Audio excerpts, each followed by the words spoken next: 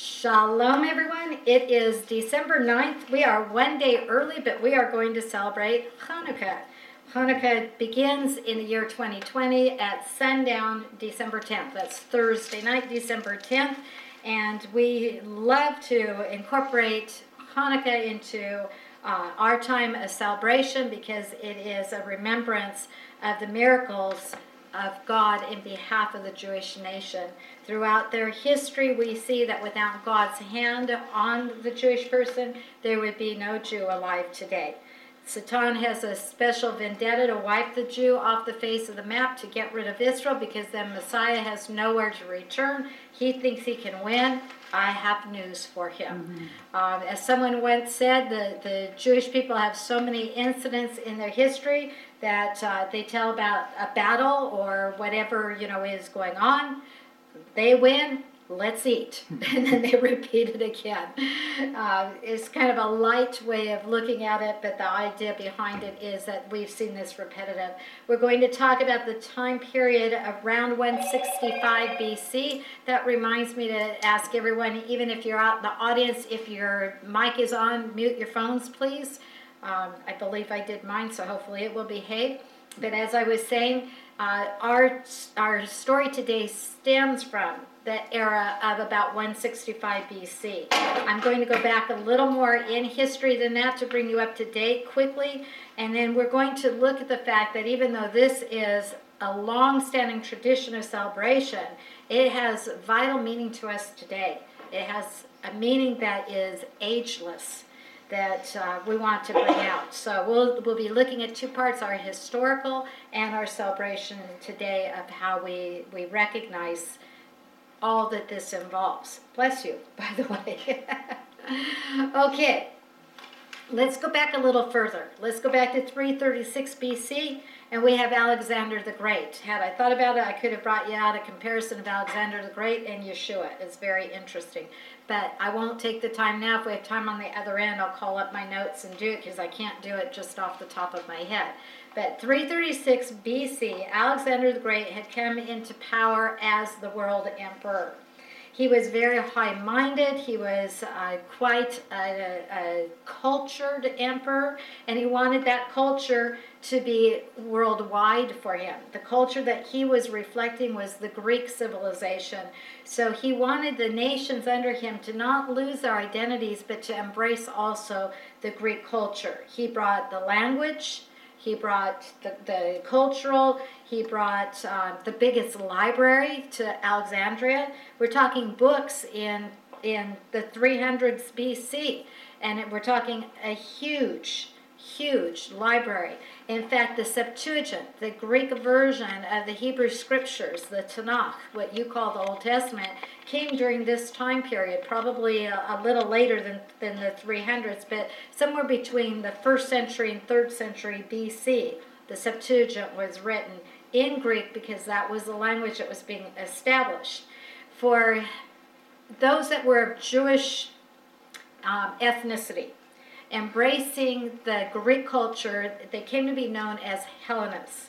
Hellenists were Greek speaking Jews and as they had moved out further away from the temple area, you have Jews in Alexandria, you have, you have Jewish people in areas further away from the temple, they were quick to embrace the culture around them. They were almost losing their Jewish identity, which is the downside to it, but the upside was there were many benefits that they received from the Greek culture. So it had its pros and it had its cons. Well, Alexander goes on his way because we find that he passes away, and he was so great in being emperor that no one really could carry the weight of being world emperor. So the world was divided up among his four generals. It was divided into uh, different empires. I'll say I'll call them four little empires. And Israel did not have an empire of its own. It would ended up with for the next I'm going to say at least 100 years, if not a little bit longer. It had the, the oh, what word do I want? The disdain of being attached either to Egypt, which was the country, if it was powerful, to their south, or Syria to the north. What I want you to see on a simple map is Syria north of Israel, the land of Israel, and Egypt south of Israel. so when the the Ptolemies were in control, they came out of the Egyptian area. When Egypt was one of the stronger uh, empires, then Israel was under Egyptian control. And the same was true with Syria. When Syria, the Seleucids were more in control, then they um, affected Israel and how Israel would go. Now, usually, not always, but usually when Syria had control, there was, uh, no, I'm sorry, when Egypt had control, there was a little more um, live and let live, a little more than when the Seleucids were in control. But what we're going to deal with is what is an effect to us today with Hanukkah. Roger, can I ask you to put the fan on? I'm starting to broil, and it's probably me. I'm in a sweatshirt because it says Happy Holidays. Had to wear it today, but uh, forgive me. I just I thought if I'm this warm, I think it's starting to feel warm to some of my people in my um, current, in my in my real audience. That sounds bad. You all are real people. I don't mean that the Physical wrong way. audience. Physical audience. Yeah, that will do it. Thank you. And thank you for helping, Roger. Mm-hmm. Appreciate it. He's always the one behind the scenes. Those of you who have been looking for a website for more uploaded, go to the bit.ly site. There's a lot more put on it now. He's been playing a lot of catch up. Lord bless him. He's worked hard. So, and we got somebody else coming in. That's the, the doorbell. Anyway, it's not the real, it's the Zoom doorbell. Yeah. But we have to, Zoom won't let them in now without uh, a layer of security, so they have to ding dong and then we have to let them in. So forgive me for all of that, but let me bring you back into the time before they had electricity and doorbells. I saw her at Okay. J.C. Penney's today. okay, you can tell on her later. I asked her if she was coming, and she said no, but, Oh. but she's on that. Okay, well, then maybe that's what she meant, not in person. Yeah. Yeah. Okay, back to uh, before about 200 BC. We have the time now that Alexander the Great has divided, his kingdom has been divided, and at this point in time, uh, Syria has the, the upper hand in the area that's reflecting Israel. In this area, we have Antiochus the Fourth come to power. Now, you may hear his name Antiochus. I have no idea. So if I'm pronouncing it wrong, forgive me, but Antiochus is what I grew up hearing, so it's how I'll slip into saying it. He was on the throne of Syria. He thought himself high and mighty.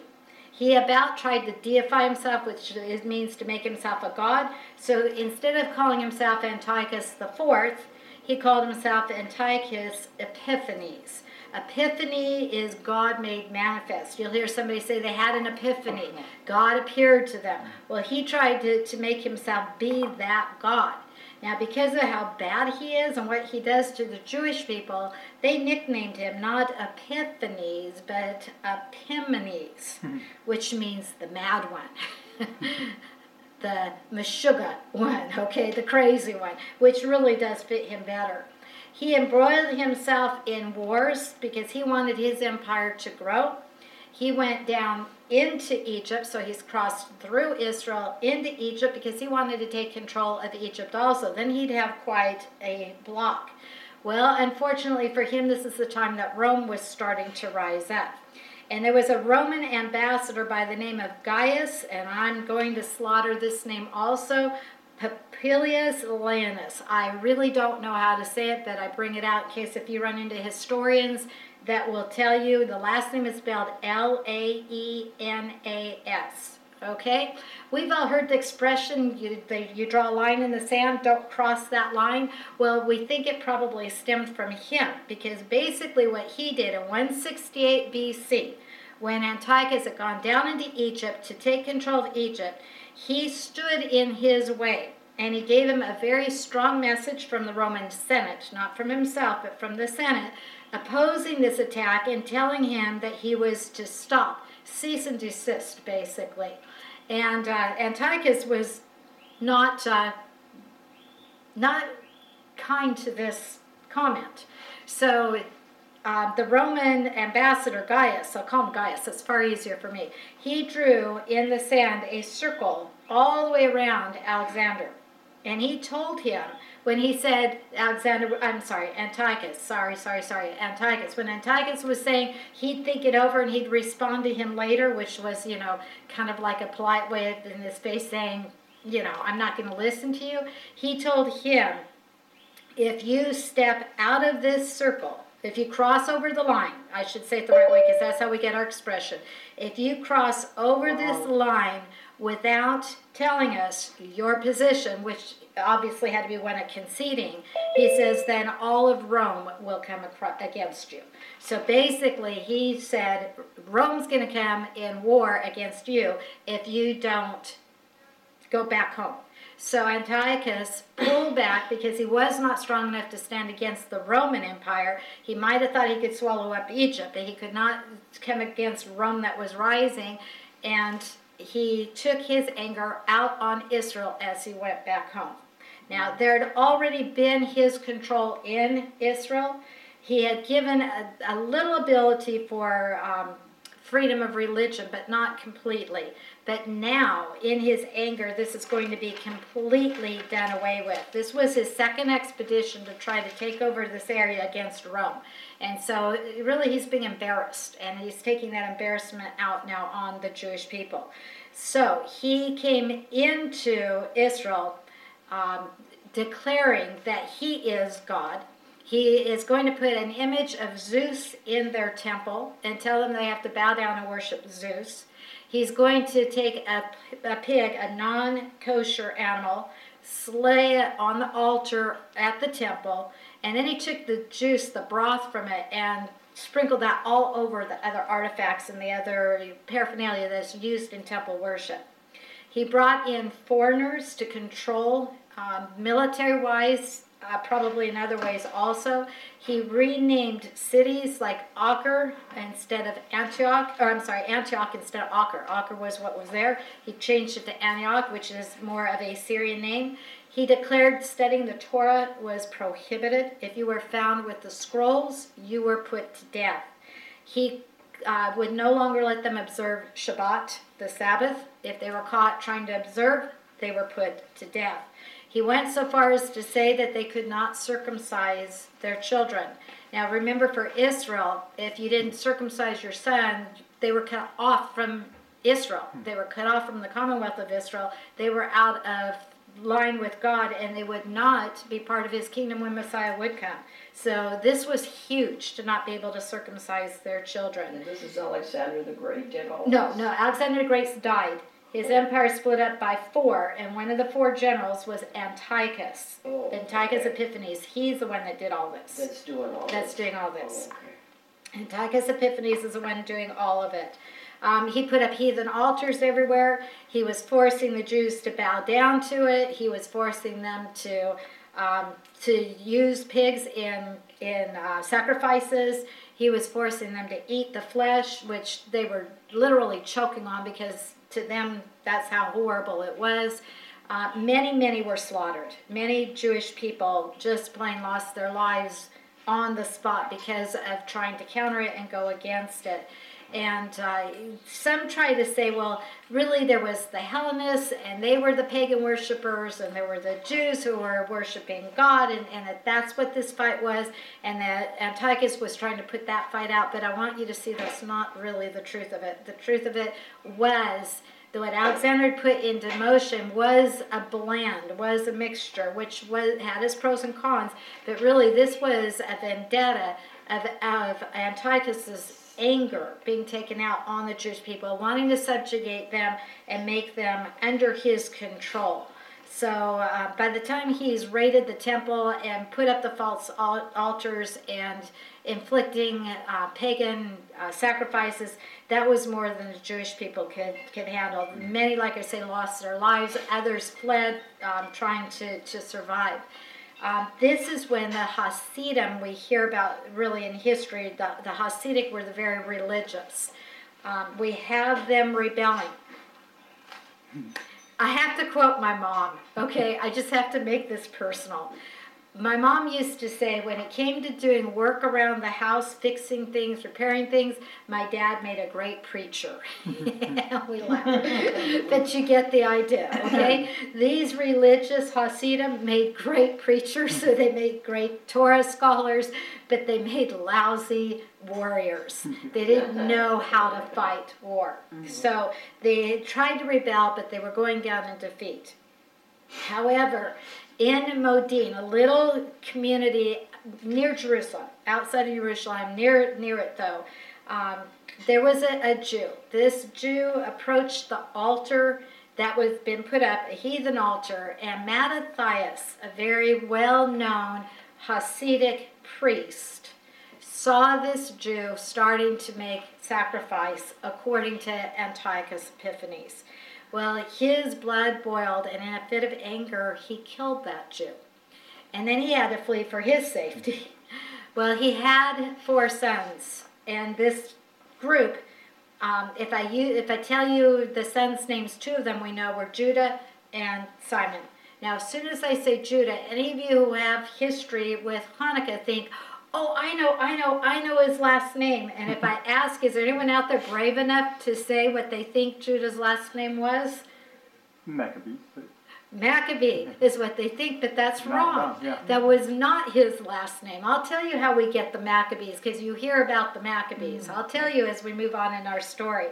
But these sons did join together and they got others to join with them, and they were a little more savvy than the, the priests, than their dad and, and the priests. Mattathias does finally pass away from age, and Judah is the, head, the oldest son, so he's the head of the family. He comes up. But they mm-hmm. actually knew a little bit of guerrilla warfare. They knew some tactics. They were able to trap the Syrian army. Remember, Antiochus brought in foreigners to be the army, so they didn't know Israel. They didn't know the lay of the land. They weren't shepherds knowing the, the hills and the caves and the alleys that came to a, a dead end. And they lured the Syrian army into places where then they could attack and they could win. But here's the defining factor why they were able to actually carry out a revolt and win back their precious land. And I believe this is what God honored. They raised up their battle cry. You know how you go into battle, you raise your flag, you know, your ensign, your, your name, your, your battle cry. They took it right from the scripture. They took it from the book of Shemot, Exodus 15 11. And this is, uh, I'm, tr- I'm, I'm starting it in Hebrew rather than English. Let me give it to you in Hebrew first, okay? Micha mocha baalim Yahovah. Who is like unto thee, O Lord our God? In essence, we're coming in the name of our God, and who can stand against our God? That was their battle cry. Does that sound like what little David said mm. when he went up against Goliath, the giant, and a little boy with a little sling rocked a giant to sleep? We know it was the power of God. Do we see that through Israel's history? Yes. And I believe God honored this battle cry, and because of that, he fought the battles. And a little group of guerrilla warriors pushed back 10,000 plus Syrian army, pushed them out of Jerusalem, out of the Judean hills, and finally completely out of Israel and had their land back. Now, how do we get Maccabee out of that? That Hebrew battle cry from Shemot from Exodus 15:11, Micha Mocha Baalim Yahovah.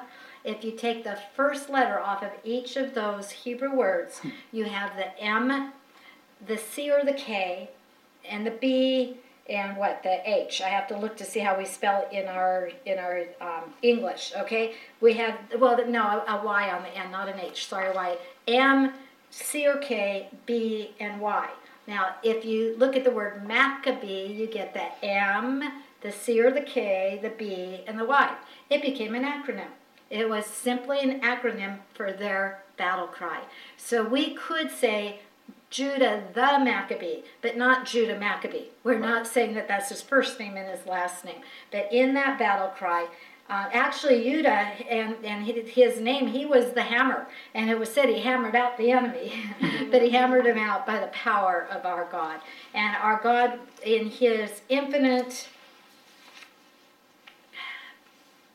plan, I don't know how to say it, the plan of from before creation, said there will never be an end of Israel. So, yes, Israel goes into persecution. Israel suffers consequences of not being right with her God, but God never lets her come to an end. And we've got a little tiny group come against the big Syrian army. Hallelujah.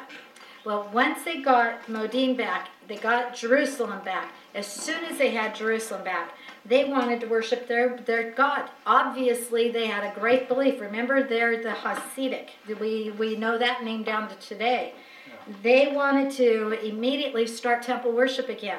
Well, remember what their temple's like? Yeah. The altar has been absolutely desecrated. It is believed that the, the actual stones that made up the altar were taken completely out, that they started all over again and built a brand new altar to the Lord.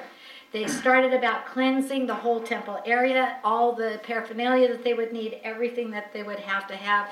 They went after that first. They did that before they took back their homes, before they cleaned out their homes, before they did anything for themselves personally. They put God 1st So here is where we get into what we know today because we're still giving you the history that brings you Hanukkah for today. And by the way, this was 165 BC. Some say 164 BC.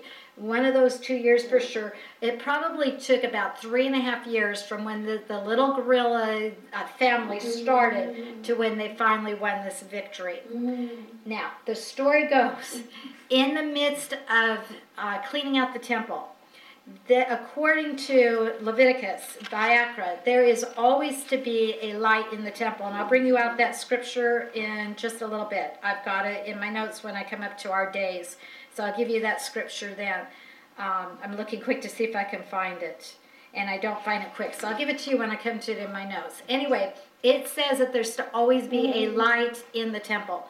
This light is an eternal light, it is meant to represent God. So the story goes that as they were cleaning up, they found one little cruse of oil. Remember, lamps, lights in Bible times are olive oil with a wick in it that they light. They found one little cruse that still had the priestly seal on it. So it meant it was still kosher. It had not been desecrated by Antiochus and his armies because they wanted to show God their intent, they said, even though this little cruse will only burn a day, and it's going to take us eight days to make the pure olive oil light, uh, olive oil, the oil out of the olives, to, to oh boy, I'm saying this terribly. So that they could have their light and keep it going, they had to make kosher olive oil for the for the lighting. It's an eight-day process the cruse they have will last one day. Rather than wait seven days and, and do it and then have the, the pour in the oil so that the light never goes out again, they wanted to show God how serious they were, that He be represented the way Scripture says right from the start. So they they uh, opened up that cruse and they lit it and the story then is told and passed down to us. It's finally in our commentaries, our Talmud, and so forth, in the early, early 200 AD, about maybe early one, the late 100s AD.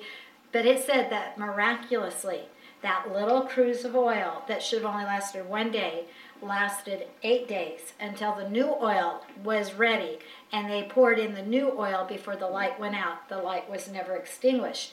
And because of that, the declaration was given we want to recognize and celebrate the light every year. Hanukkah means dedication. So they call it the Feast of Dedication because they were rededicating the temple.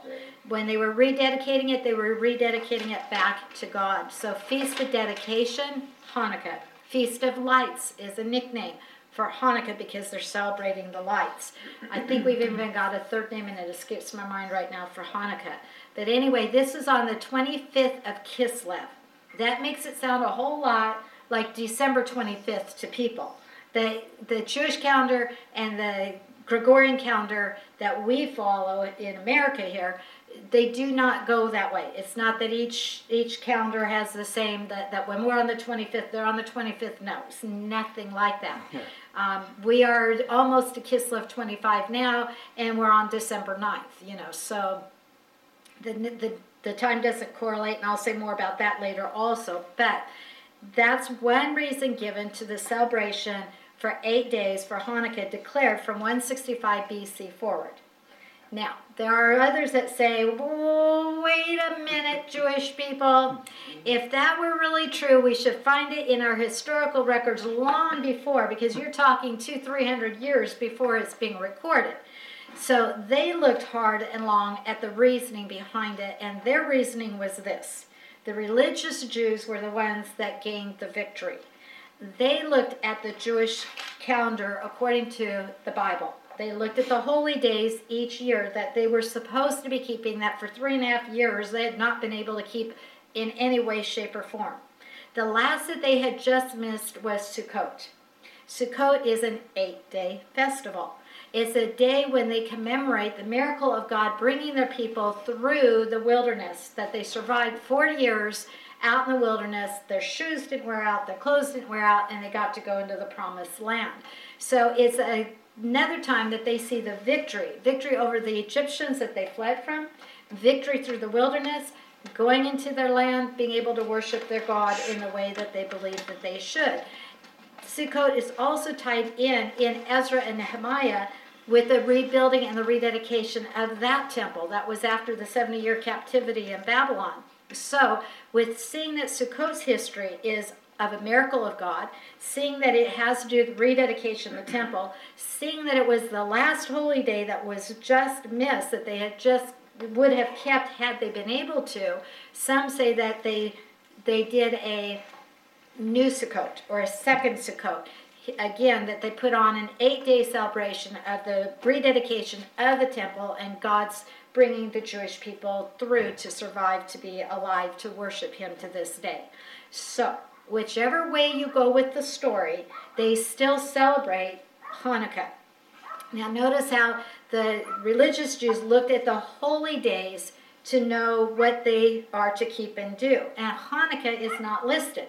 How could Hanukkah be listed? Those holy days descriptively are given back in Moshe's day. They're back in our books in, well, we see it in Shemot, in Exodus. We see the majority of it in Vayikra, in Leviticus. We have Rosh Hashanah, the Feast of Trumpets. We have Sukkot. We have, you know, these mandated biblical holy days that we celebrate year after year after year after year. But if you go back to Moshe's time, he came out of Egypt with the children of Israel about 1445 BC, approximately. So you're talking 165 BC, we're talking 1300 years later. Why would Moshe be given this is how you keep Hanukkah and call it a religious holy day, but oh, you're not going to have the history to understand this day for 1300 years? You know, that would be like telling us, you all need to start celebrating this day that's that's something that's going to happen in the future. You don't do it that way. You celebrate something that's already happened. So it obviously was not going to be mandated by God as a biblical holy day. We don't see it given that precedence there because it happened years later. But do we have anything biblical to tell us yay or nay about Hanukkah? Is it just a fairy tale and we shouldn't have anything to do with it? Obviously not. Historically, we know it to be fact, and we know the facts as I've given them to you uh, to be sound and to be true.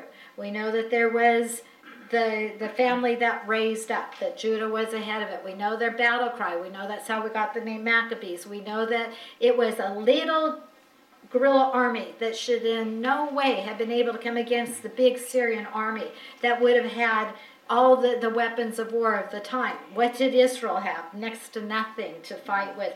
Same again, a, a rock and a sling, you know, obviously. But does that give us a right to celebrate it? Because we are, and you can see I celebrate it, we are celebrating it today.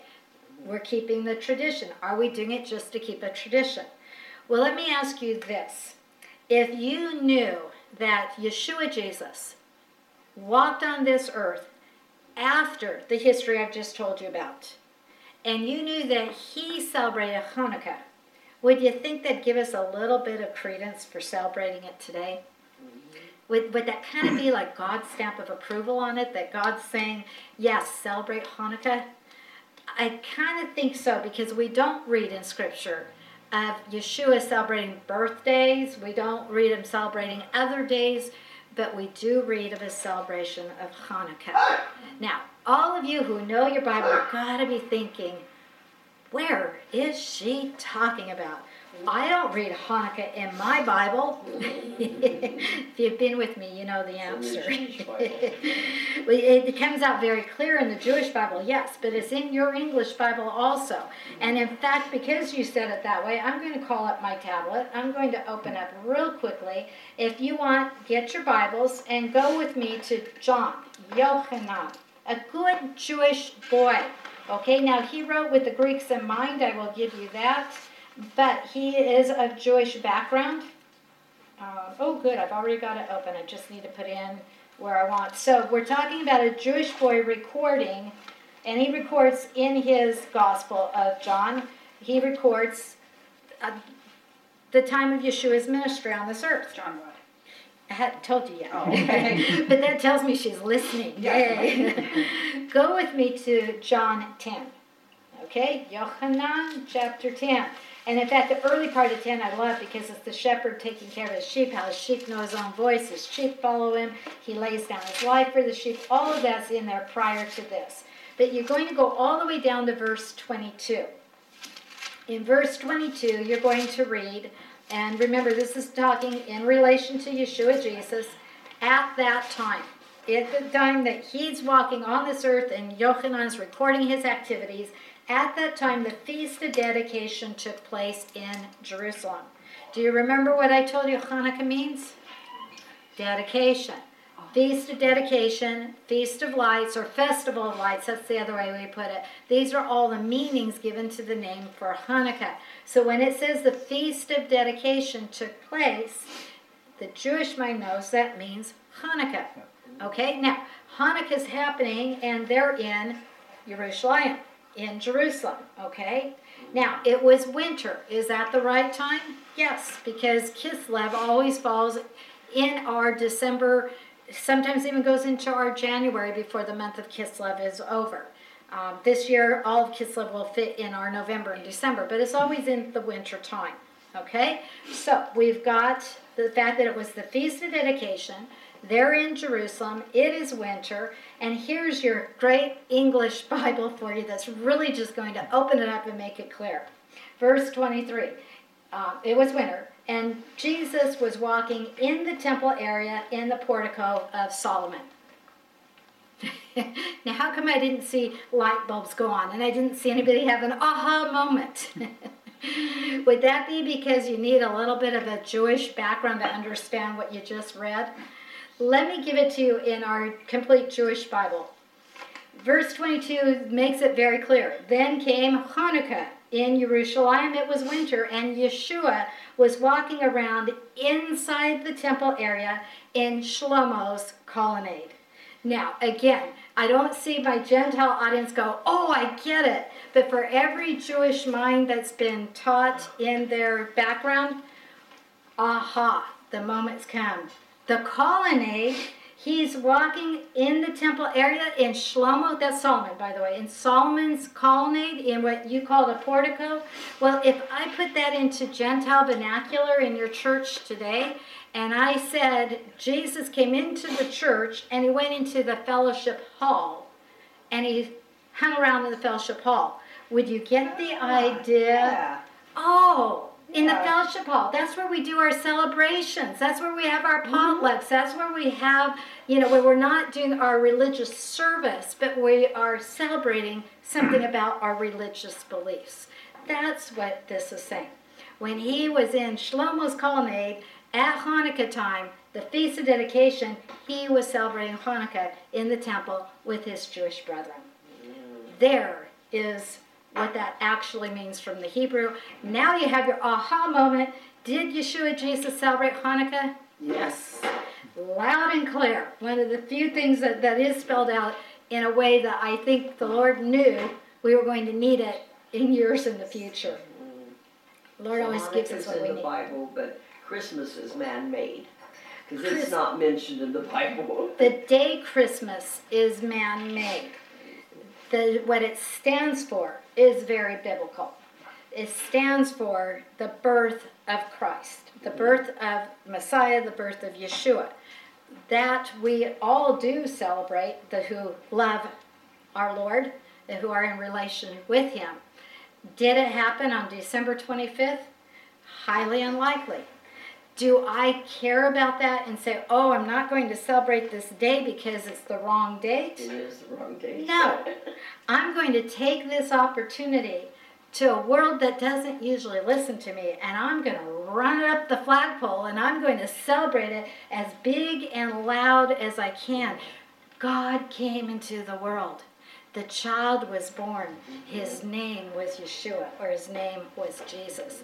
I'm not going to get hung up on a day and miss getting the point across to my unsaved world that needs to hear and know it. So, do I have any problem? No. Did I just step on toes? I'm sure my bigger audience, yes. And my intent is not. You go by your conviction between you and the Lord. But for me, it's an opportunity. For me, I want to share it with the world. I want to recognize the fulfillment of the Jewish prophecies of Isaiah 7:14 that said a virgin would conceive. That Isaiah 9:6 says that a, a son would be born. I'm sorry, a son would be given. The child would be born, but the son would be given. I want to celebrate my prophet Micah, Micah, who said, "Out of Bethlehem would come one who was from of old, from eternity past." I want to celebrate all this fulfillment and shout it to the world. What God promised, He did. And this one, who is born of Jewish ethnicity in his human side, is deity. He is very God Himself. And that's why He is the Savior of the world. Not just the Jewish people. He came for the world. For God so loved the world. He came for all. So, am I going to take an opportunity? A day, I don't care what day. You can make it in August. You can make it in January. I don't care where you put it. I'm going to say, hey, world, wake up.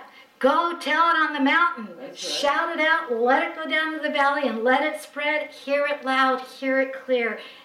Jesus, Yeshua, the Son of God promised, was born. He was born for Hallelujah. our salvation. He was born to die. How do you like that one? Mm. Any of you choose to be born to die? You don't even choose where you're born, and yet he did. Who cares what day it was? Exactly. The fact is, it happened. and that's my whole point. It's the same and I with will worship, the day you worship on. Some worship Saturday, some worship Sunday. And we But it doesn't matter what day, just so we remember him. Sh- Old Paul said that very clear. Honor a day unto the Lord. Whatever the Honor day it. of the week. honor it honor it yes so yes i will take the opportunity and uh, have had the blessing of sharing with a wider world both jew and gentile because i've brought it into my home and spread it out and i'm not holding me up on a pedestal that's a whole lot of us that have done it so back on track though this is a um, particular date that we do have in history.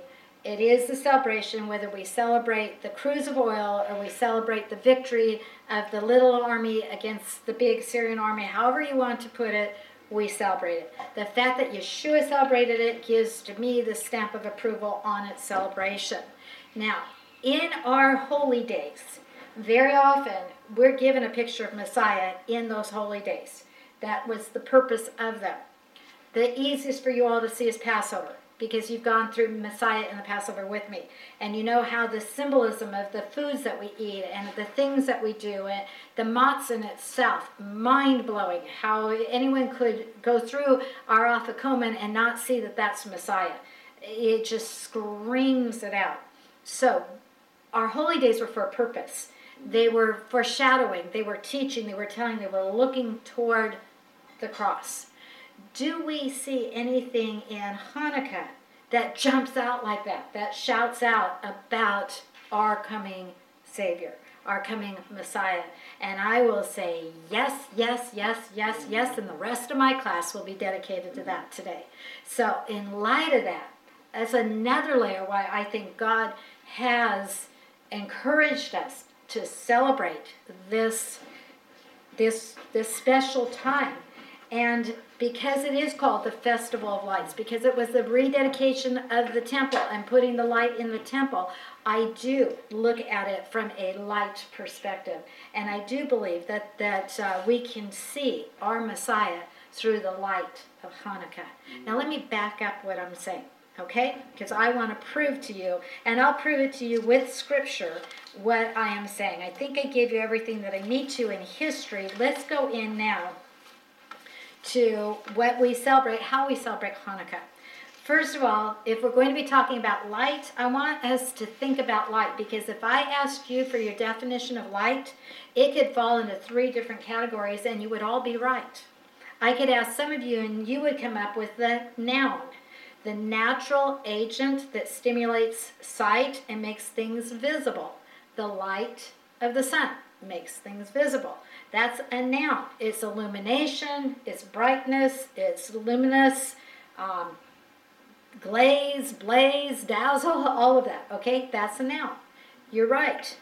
But someone else may give you the verb form of it. They might give you the definition that it is illuminating something. The room was lighted by a small lamp. The little room was illuminated by the Virgin's lamp in this way, it's talking about a verb form. It's not talking about the noun light, it's talking about the verb light. We can see both. Now let me throw the curve in and give you it in a form as an adjective. Have you ever described somebody with the light brown eyes or the light blue eyes? Do you really mean that light as noun or that light as verb? No, but you mean it as an adjective, a descriptive word. The, the eyes obviously are lighter in color than some others, and you're doing a comparison. So light can be a noun, it can be a verb, and it can be an adjective. And I'll say yes, yes, and yes. Okay? But I want to broaden our minds to think more of light. And try to keep that in mind as we go through our days now noun, verb, and adjective because you'll see it in different ways. And I guarantee you, if you start opening yourself up to the light in this next week or so as you're thinking about different things, it's going to pop up in your mind. You know, like the light bulb goes on. hmm, interesting analogy. Okay, why am I saying all this? Because we're going to see the light of the world and we're going to see it in relation to Hanukkah. Okay, I've told you the history behind Hanukkah. Let me tell you that our Jewish people love to celebrate Hanukkah. Mm-hmm. It is a festive, it is a happy, it is a joyous occasion. Not all of our holy days give us that chance to just be joyful and celebrate. We do say Hag Sameach, which is happy holiday, and we have all kinds of ways to rejoice. Now, as is always true with our Jewish holy days, with our, our remembrances, we teach them to our children. We teach them repetitively. So every year, the, the parents in the home are going to teach the children the history of Hanukkah as I've given it to you. Of course, they make it simple when they're real little, and as they grow, they, they you know, and give more and more of the detail. But they're going to help the children remember by adding things to of use to help them. So, because they take the story of the cruse of oil um, burning for the eight days, they're going to focus around that thought and they're going to bring light into the home. Now, you're all familiar with the, the menorah in the temple, the seven branched candle stand. That's not a Hanukkiah. That's not for Hanukkah. Okay? I have a menorah. This one is a Hanukkiah. Now they can come in all kinds of shapes and colors and designs. They're everything from I've seen Disney put one out that has Mickey Mouse and Donald Duck and you know all the different characters holding the place for a candle a day. I've seen them made out of sports, a basketball, a football, a baseball. I've seen them elegant and I've seen them made out of clay. I've seen them all kinds of ways. So I just happened to grab one that, that's just a little um, it's pretty but it's simple so that my point can come across today. The Hanukkiah is easy to, to see in its description from the menorah that's in the temple all the time by how many lights can be held on it. As I turn this to you, hopefully you see that there are nine, four and four, and there's always one that's raised higher than the eight. Now, the, the you can have all eight on one side and have the one raised over here. It doesn't matter. Doesn't matter. But you have to have one that's raised and you have to have eight that are the same. Okay? As soon as you can count nine, you have yourself a Hanukkiah. You no longer just have a menorah, you have a Hanukkiah because it's for Hanukkah. So we put away or put aside our menorahs that we use in the temple and we bring out the Hanukkiah. If you're wondering why, it's very easy to explain. We're not talking about the, the menorah in the temple, we're talking about the eight days that the, that the light lasted or the eight days that has been passed down tradition to celebrate, and we're going to explain the ninth in just a moment. But the family's going to gather around the Hanukkiah. They're going to light it every night. I'll explain how as I go through the days. They're going to sing songs, and they are fun songs. They're upbeat. They're they're they're enjoyable. A lot of the songs are around something called a dreidel. I have a dreidel here. Looks a lot.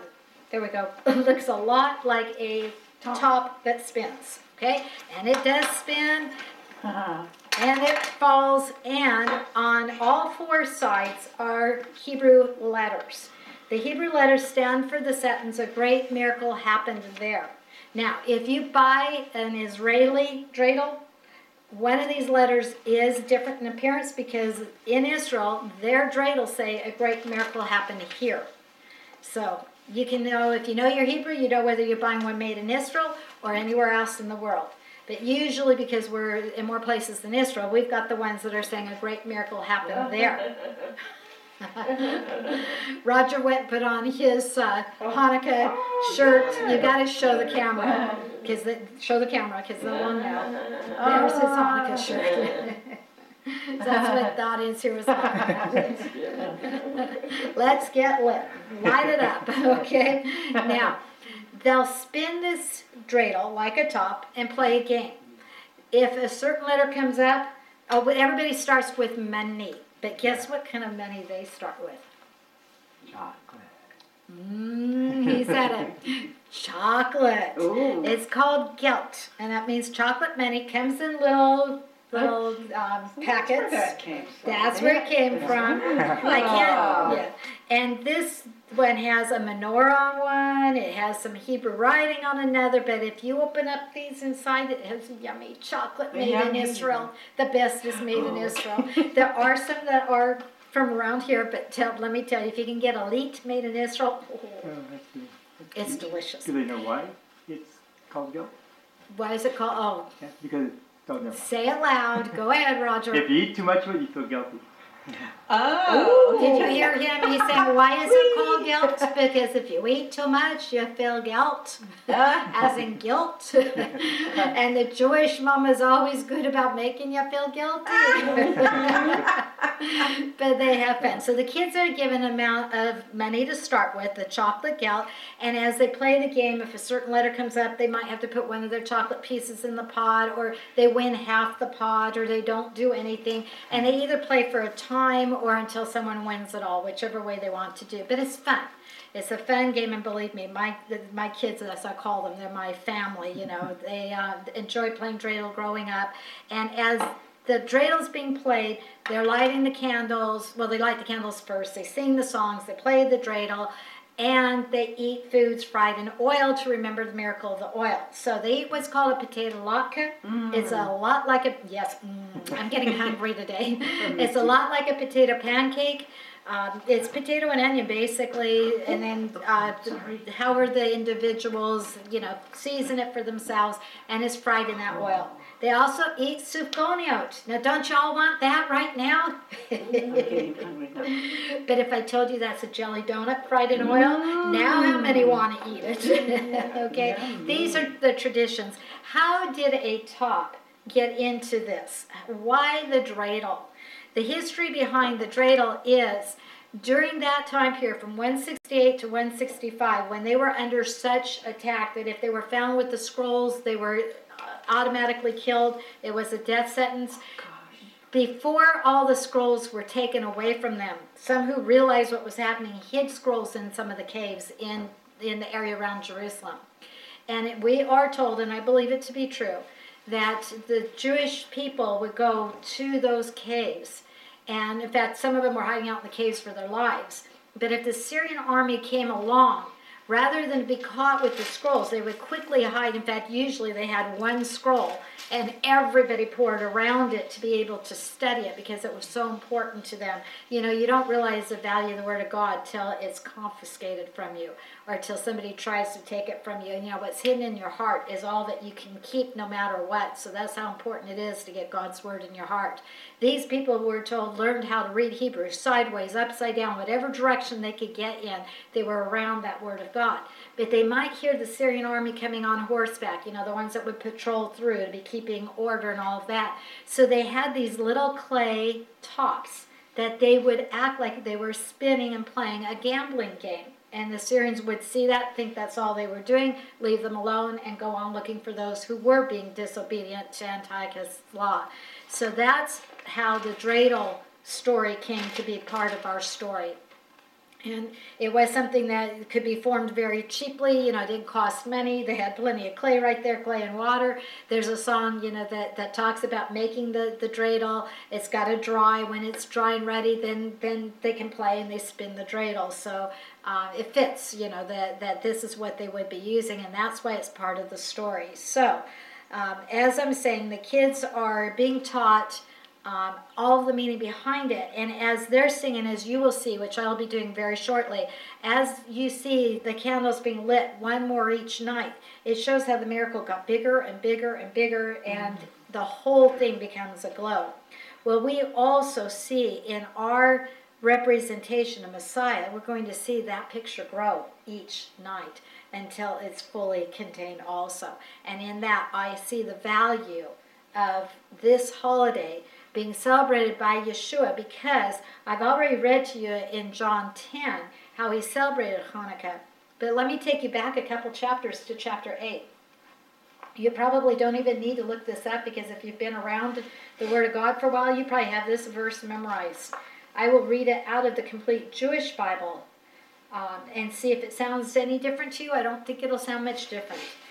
The first word, yes, Yeshua, but you all know who Yeshua is. Yeshua spoke to them again. I quote, I am the light of the world. Whoever follows me will never walk in darkness, but will have the light which gives life. Now, hold on to that verse because it's packed for our Hanukkah. And we're going to see it, and we're going to see it, and we're going to see it. And when we get done, if you can ever read that verse and not think of Hanukkah and the menorah Yes. again and celebrate it in your heart again, I'll be surprised. Now, did Yeshua say this at the time that they were celebrating Hanukkah?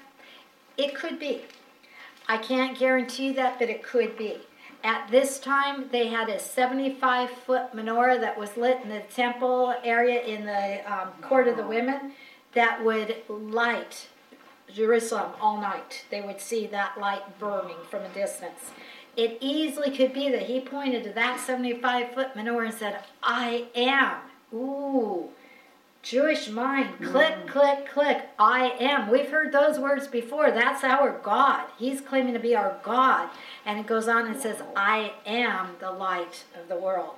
Now, there is another time in Sukkot when they have four of these menorahs lit, 75 feet tall, in the court of the, the, the women, overlooking Jerusalem, that would be seen by the world around them each night. It could have been at that time that the Lord brought it out also. Whichever time, I believe it probably was one of those two times because we often do that when we're teaching to get our points across. We're using object lessons, and it very easily could be that at a time when that menorah was set up and ablaze, that he would use that to say, That's speaking of me. Because remember that eternal light in the temple that's been all the way back from the first temple, the one that was before it was called a temple, it was the tabernacle. There was always the eternal light. It was to remind them that they had an eternal God.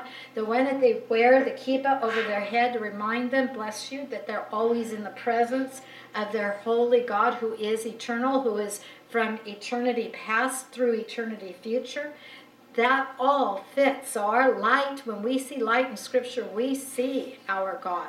We see the one who is called the light of the world. We see this light come into our lives, and we're going to see that this was promised especially. Let me take you real quickly, lest I forget. I may repeat myself later, but let me take you to Yeshaya, Isaiah. This is huge in Isaiah. I'm going to take you to chapter 9. Isaiah chapter 9. And you'll begin to see as you come across other um, scriptures in the original covenant, you will begin to see also um, light mentioned. I love it. You're going to see it in a new light. You're going to see it in connection with the light, the one who we're talking about. In, in Isaiah chapter 9 uh, and verse 2, Isaiah is being prophetic. He was a prophet, and he spoke and he said, The people who walk in darkness will see a great light. Those who live in a dark land, the light will shine on them. Well, what did we read in Isaiah? That he is the light of the world and he came to give light and life to men. Is this a fulfillment of Isaiah 9? I believe it is. I believe this is the promised light that the light came, walked among them. It dispelled the darkness, and those who see the light, who come into the light, are the ones that the light shines on them and they will not be in darkness again. I love the fact that the light dispels darkness. They're not equals and opposites because darkness flees when the light is brought in. You can't have darkness when you have light. It's impossible. Light light dispels darkness. So, keeping all of this in mind, let's look and see now. We're going to talk about what the days mean. I've given you the background. I told you how they have fun, how they celebrate, um, what all has been passed down. I think we're ready for our days. Uh, I told you about the the dreidel. I'm just looking over my notes to make sure that I have given you. I think I have. Okay, so they have developed the Hanukkiah to celebrate for Hanukkah time. I've already pointed out it has the eight places, but it has one raised. The one that is raised is called the Shamash candle. Now, in my father's tradition, and he was Orthodox Jewish in his upbringing, in his tradition, the Shamash candle was always pure white. Okay, the other candles can be colors, but the the Shamash candle was always pure white. Now, I've heard other Jewish people say, well, we didn't do it that way. Mm-hmm. What can I say? We love our traditions, and we have our traditions within our families. But his being Orthodox carries a little more weight to me because the Orthodox were trying to stay true and pure to the Word of God. So I'm going to use a white light for my um, my. Okay, I'll tell you right now what it's called. This is called the Shamash. Okay, S H A M A S H. Shamash. Okay, Shamash, Shamash means servant. This is going to be the servant candle. It is going to be used to light all the other days. Could you repeat, spell it again? Yes, Shamash. S H A M. That's M as a mom. A S H. A F H. A S H. And It means servant? It means servant. That's the Hebrew word for servant. Okay? And Irma's already going, wow, because her mind's already ahead of what I'm going to be spelling out. And I love that because it shows, am I reading into this? No, it's what's there. The Shamash candle, the servant candle, will light all the other candles. You know what? I'm going to spell it out. We'll just take it from this point. When we realize Yeshua, the one that we're saying is the light of the world, he stooped down from heaven to bring the light into our lives. When this candle stoops down and lights the others, it's called the servant candle. Messiah came to be the servant of us all. He didn't come to be king, he came to be servant. He came to bring the light. He'll come his second time to be king, to come ruling and reigning in all his glory. But he set aside the glory of his kingship, and he had on the, the robe of the servant. And he acted in that capacity. Even when he said he was the light of the world, it's the servant lighting for the world. On the menorah, is the candle that is used, the one candle that is used to light the other candles, it is, is that also called a shamash candle? It would be called shamash because it's the servant candle that Okay. serves the other, so it would be. Usually in the menorahs in the temple, it's all one. In fact, the temple menorah was one piece. It was it was beat out is how it is, is used when we read about it in the tabernacle. My point being it flowed from the one to fill up the lights of the others. So they would be pouring in the oil through the servant candle to light the others. Ah. But it's all one. Ah, I love watching the lights come on. I love it. Have you Okay. never told us this Okay. before. Well, if you've been with me in Hanukkah, you've heard of it. But sometimes we hear so much we can't catch it Yeah. all. Exactly. You know, and that's why it's good to repeat. I'm repeat. learning Yeah. that- little bit Yeah. Believe me. I learn, I see. You've I'll see Hanukkah new scriptures this year that I haven't seen in other years. I'll see Yeah. new meaning and new depth wherever we are. That's what I love about the Word of God. The Yeah. depth of the Word of God. You can go over a verse your thousandth time Yeah. and something new will jump out. And sometimes it's so simple you think, why didn't I see that before? And other times it's so profound that you realize how you've had to grow in your walk to get to that depth. But that's the Word of God. The gospel is simple enough for a little child to understand it and believe, and it is, I don't want to say complicated enough, but deep enough, deep enough for the mind that needs something to, you know, that shows to how great, that, that this just isn't fluff made up. It has that depth. So that you can have your rocket scientists Yes. bow the knee Yes. to the Savior God, the He creator of doesn't give us more than we can handle at any one time. Exactly. No, he knows just how much. so much. He knows Wow. just how much, Yes. yes. Oh, what an awesome So, year. What they will do, and I've got a copy of it since you're all liking all of this so much, um, they will also say a prayer over the candles. I'm just going to read the first part in Hebrew, then I'll do the rest in, in English for you. But they read it um, each night, they will recite the prayer. I've got other prayers also. We'll see how much I bring out. But the common that's given um, and they will use it like even on Shabbat. This these candles, if I remember right, I think the Hanukkah is lit first. Don't quote me on that, but anyway, they'll still do the Hanukkah lights also. Um, it, in in the Hebrew, Baruch atah Adonai Eloheinu melech haolam asher kiddushanu b'mitzvotav v'tzivanu lahadlik ner shel Chanukah. This is the first verse. What I have just said is, We praise you, O Lord our God, King of the universe, who has sanctified us by your commandments and enjoined us to kindle the Hanukkah lights. He's joining with us in it. Then they go on and they say, We praise you, O Lord our God, King of the universe, who performed wondrous deeds for our ancestors in days of old at this season. We're recalling you did this for our people in 165 BC. Those of us who are keeping it in 2020, mm. we are keeping an over 3,000 year old tradition. How's that? You want to be part of a, a tradition? Try 3,000 years worth. Mm. And when we celebrate Passover, Pesach, going back to 1445 BC, if we're even further back, just it grows.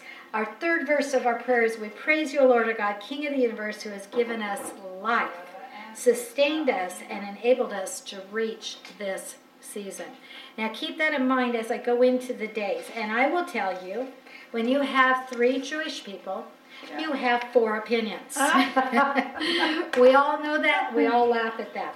If you get your notes from a different rabbi, they may have a different meaning for a day or a different order or whatever. But this again is what's been passed down to me. It's precious to me because of the, my heritage and where it came from. And in this, we will see something that I've just brought out to you. Because I'm going to light our first day. And uh, and by the way, they have real pretty candles and they have some that aren't so pretty. My box is a little of both, but I'll start with a blue because blue is Israel. They will light the menorah from right to left. Remember how Hebrew grow, grows, goes, Right. right to left. So if I'm facing my audience, this is my right. And all you see me do is I'm sticking sticky stuff because my menorah has um, you can use a little different size candle so it just helps it stand. Okay, so the very first night after saying the prayers, the kids are all gathered around. They've been telling the history of it, and then they will light the shamash candle, the servant candle. Then they take the servant candle and it stoops down to light day one. As they're lighting day one, the father teaching the children, he's like the priest of the family, remember, says, Day one stands for light or life. Either way, light or life. Um, it depends on which rabbi, or some will incorporate both reasons. Light causes us to reflect on the words of Melech David, of our King David. In Tehillim, in Psalm 119, 105, he said, Thy word is a lamp unto my feet and a light unto my path. Our prophet Yeshaya said, and that's Isaiah, said, Come, house of Yaakov, come, house of Jacob, let us walk in the light of the Lord. That's recorded in Isaiah chapter 2 and verse 5. We're going to see another very important verse from Isaiah for day 2. But as we've already mentioned, Yeshua himself has declared, I am the light of the world. Uh, he who follows me will not walk in darkness, but will have, and then notice the words again, will have the light of life. Do we begin to see the meaning developing here? And remember, Isaiah said the people sat in darkness, but they saw a great light. That's referring to the nation of Israel. The light came into the nation of Israel, and those who came to the light saw the light, were saved. That is the fulfillment of Isaiah's prophecy. Sorry. Let me take you to Yochanan, John chapter 1. I love John chapter 1. We all know in the beginning was the Word. Word was with God, and the Word was God. Let me drop you down to verses 4 and 5 in John 1, Yochanan. In him was life, and life was the light of man. And the light shines in the darkness, and the darkness did not comprehend it. Remember what I said a little bit ago? The darkness is dispelled by the light. That's what it means by the darkness didn't comprehend it. The darkness couldn't understand it and absorb it and accept it. The mm-hmm. darkness flees from it. The darkness goes away. So in verses 4 and 5, we have the life. The life was the light of men. The darkness could not comprehend it. And verse 9 says, There was the true light, which coming into the world enlightens every man. Wow. Do I see a picture of the Word? The lamp unto our feet, the light unto our path, the one who brings the light and gives us life. He gives us life more abundantly when we come into the light. Life is precious. It is a precious gift from God, and in that we should realize how precious that God's Son came into this world to bring us light, to give us life. But he did it at the expense of giving his own life, what we do value, what is so precious. Staying with Yochanan, staying with John, chapter 11, verses 25 and 26. Yeshua, the one who we've been talking about in all of this, says, I am the resurrection and the life. He who believes in me shall live even if he dies, and everyone who lives and believes in me shall never die. Now, how can they die and not die? Because one's talking about the physical. The physical can die, but the spiritual, even when the physical dies, the spiritual lives, and that life goes on and lives with the light of the world if we have that faith in Him. Are we seeing a beautiful picture of Messiah? And we're only on day one. Mm-hmm. I love it. Do I think that Yeshua is the light? Do I think that He came to give us abundant life? Do I think that He wants us to see Him in our Hanukkah tradition? Oh, yeah. I don't think we're reaching. I think it's right there. Open our eyes and let's see. Day two, they'll let these burn all the way down, by the way. You need a whole box for if you're going to celebrate Hanukkah. Um, one box of candles that you buy, you will have just enough candles for each night uh, by the time it gets to the end. Because day one now has ended. And by the way, remember days start at sundown. So they're gathering around the menorah at sundown. So tomorrow, Thursday, December 10th, sundown, They will gather around the menorah, light the first light. I guarantee you they're eating potato latkes. Mm. if they can do the donuts, they're doing the donuts too. And sometimes they even exchange gifts. This is another reason, between it being the 25th of Kislev, a celebration, a giving of gifts, that people say, oh, it's a Jewish Christmas. No, it's not a Jewish Christmas. The only way that you can say that is when you recognize Christmas as the celebration of the light come into the world, and that light that came in was born of Jewish ethnicity, then yes, then I'll agree with you. There's your combination, but that's it. How long did the candles burn each night? It depends on your circumstances. If you're near a fan, they burn faster. Um, I would say on their own, half hour, probably about half hour. I, I don't think I've ever timed. But, uh, but we'd have fun, turn off the lights, have, you let the candles on? glow. You leave You leave them them and you let them burn all the way down. The down. two, the two. Yes, And because, each day, we're you gonna light them add one all more. again, all again, and with the Oh, second so one? yes, and- yes. Relight. Yes, see, that's what you'll Oh. see. If these had burned all the way down, These two on the and we're first on the day. next day, day two, Day I would two. be putting in a new servant candle. You're serving candle, And You start all over. And then one one and still. two. And Day then- one, day two? Yes, Oh. you guys got it. And then we put in, Ah, we put, I need to just leave this open. We put Got in it. the second one. Second one. And they'll take the light, the light, the, One, the, some two. say you light the new day first, but I wasn't raised that way. But Yes. you're, that's fine if you do. If you go somewhere and you see it, that's fine, because again, we have our family traditions, and that, that's all acceptable. That I would go back to the first relight, well, not relight, because that's burned all the way down, but the Uh-huh. new candle, I light it again, and as I'm doing that and being the dad, I would remind the kids, this speaks of light or life. Now, day two, I'm going to light it. And now we've got three candles burning on day two, and those three will burn all the way down. And then the next day, we're going to have to put in the sh- shamash, day one, day two, and day three. So that's why it, it takes 44 candles to celebrate Hanukkah. And our boxes come with 44 candles. so you can see, you know, they, they've added all up. Now, I have to tell you, just because I want a little uh, enjoyment in the midst of this also, my saying to you how I, I'm telling you, it's not Christmas. It's not a Jewish Christmas, it's, it's a separation. This is a true story. Little boy named Les was Jewish. He went down to his friend's house in early December. He's about eight years old. He says he was eight or nine years old. And his friend introduced him to the Christmas tree. And his friend said, Look at, you know, we light this every night, and you see all these gifts under here. This one's got my name on it, and this one's got my name on it, and this, and he's all excited. He can hardly wait for Christmas to come when he's going to get to open all of his gifts. Well, what do you think a little eight year old boy does? Goes home to his mom that night. He says, Mama, Mama, I want to celebrate Christmas. I want a Christmas tree. Well, she was smart enough. She knew what was going on. She knew he wants the gifts under the tree. so she says, Les, let me tell you. They celebrate that because that's their belief. But we have Hanukkah. Uh, And we have eight nights.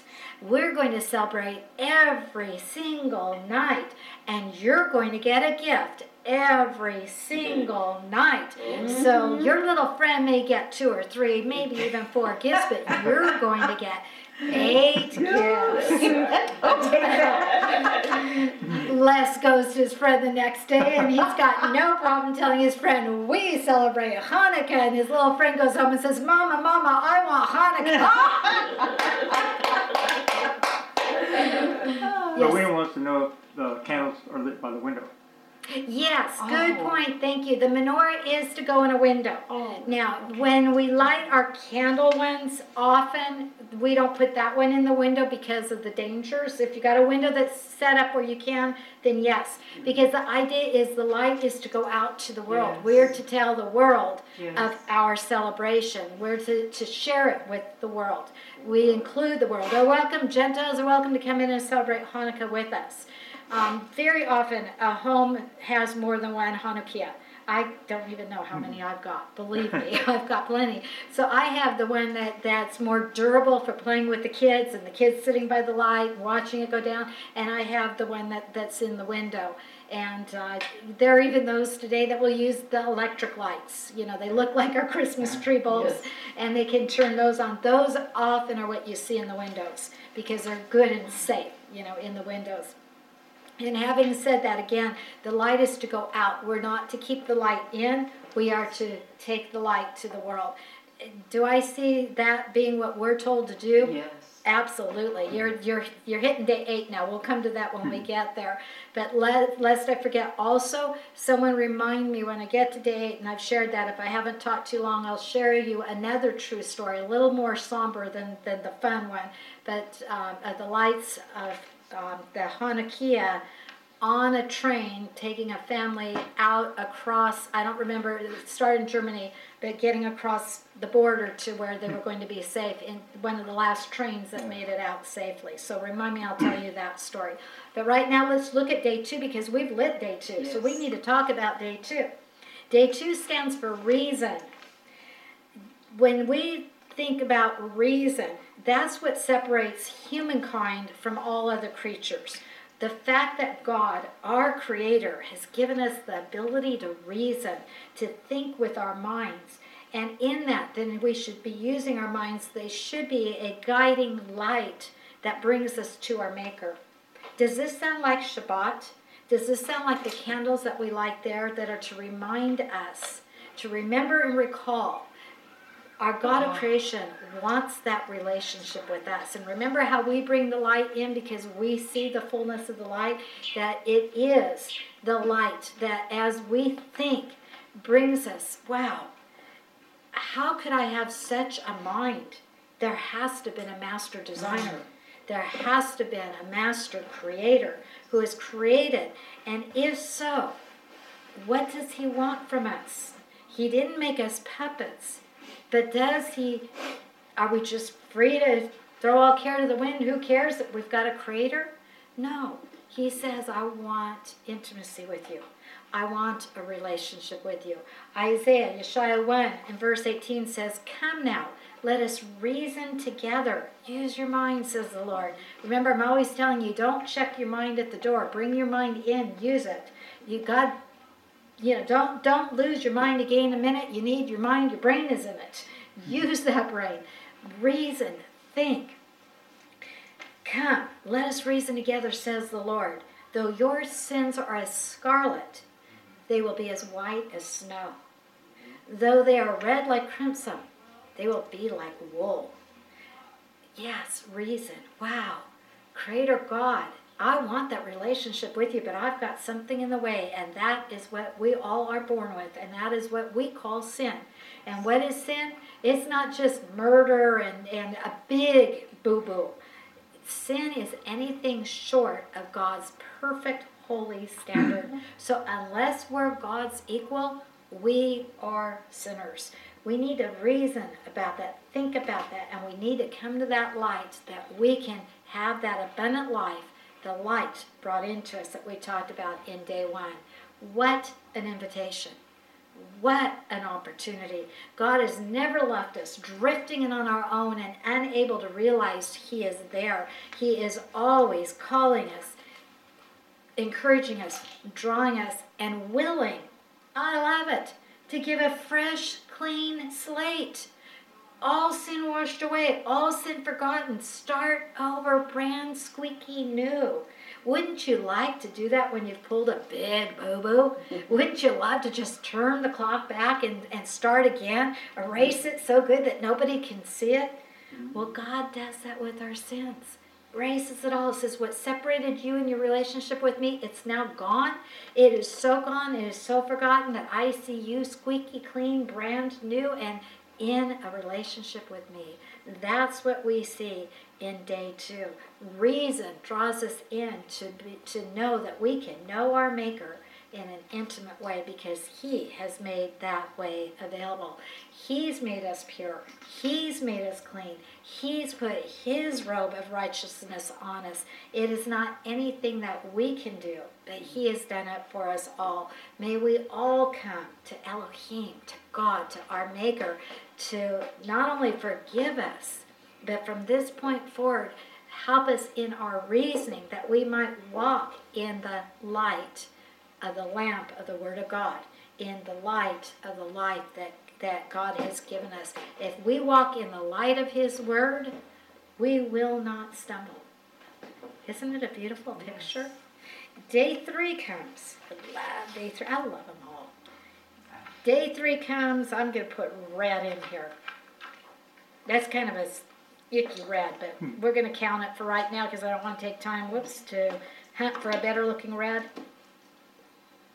My uh, brighter colored candles disappeared on me, by the way. I have no idea where they went.